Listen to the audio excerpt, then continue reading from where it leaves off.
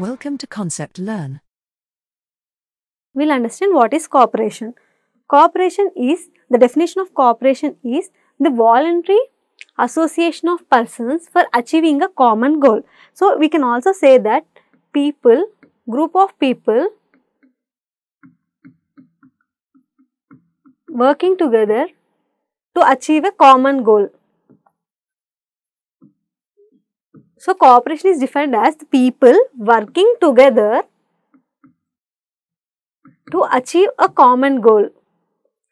So, the interest of the individual as well as the group must be common and that each goal should be same and the association is the voluntary association. Everyone in the group are not forced to join the group.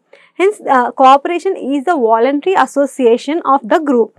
And uh, the examples of cooperatives are producer cooperatives, consumer cooperatives, marketing cooperatives, credit multi-purpose cooperative societies etc. So, these are the examples of cooperatives and it is divided based on the purpose of the fo formation and these are di uh, different agriculture sector cooperatives.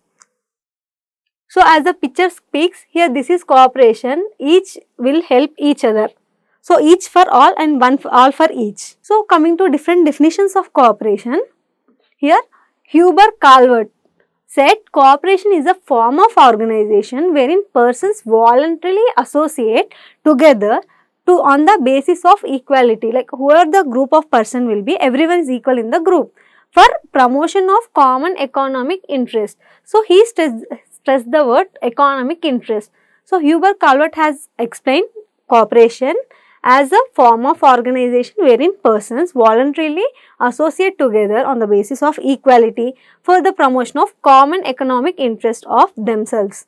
And Horace Plunkett said cooperation is the self-help made effective by the organization. He says that it is the self-help that we are helping for ourselves where it is made effective by the organization. So, coming into the cooperatives, we are helping ourselves and this can be done effectively as told by Horace Plunkett. So, what does the cooperation do? It helps in protecting the weak. So, he is the person Horace Plunkett.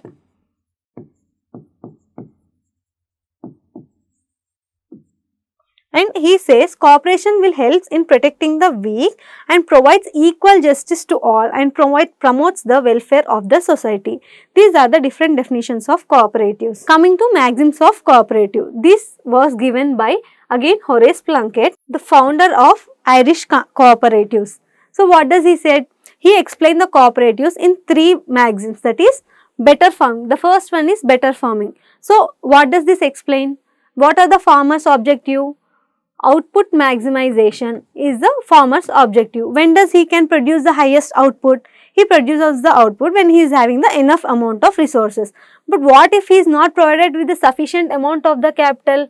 He could not provide the output as he expects. So, when there is a organization that can provide the credit at the right time, so these cooperatives is the right, if it is the right, if, if the cooperatives can provide the uh, needed credit at the right time, he can the farmers can achieve his objective.